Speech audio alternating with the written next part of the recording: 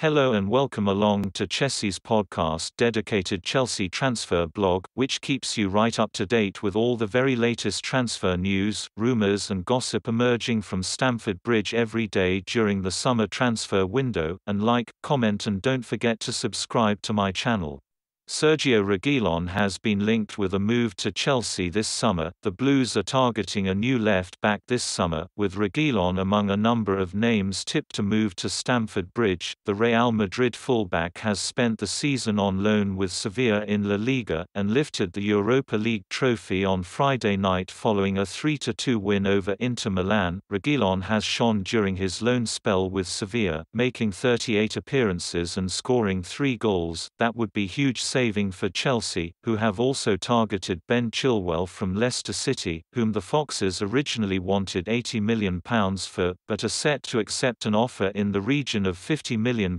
for. Chelsea have edged closer to securing a move for Chilwell, but Reguilon would still be available to them if the deal for the England man fell through. Winning the Europa League was a great way for Reguilon to sign off from his loan spell with Sevilla, and he sent a message to the club's fans following following the trophy triumph, he posted a selection of images celebrating with the trophy on his official Twitter page and he said, These photos cannot be defined in words, thank you all from my heart. He has attracted interest from Paris Saint-Germain, as well as the Blues, and Real Madrid boss Zinedine Zidane is reportedly happy to let him leave the Bernabeu this summer for a fee in the region of £22.4 million.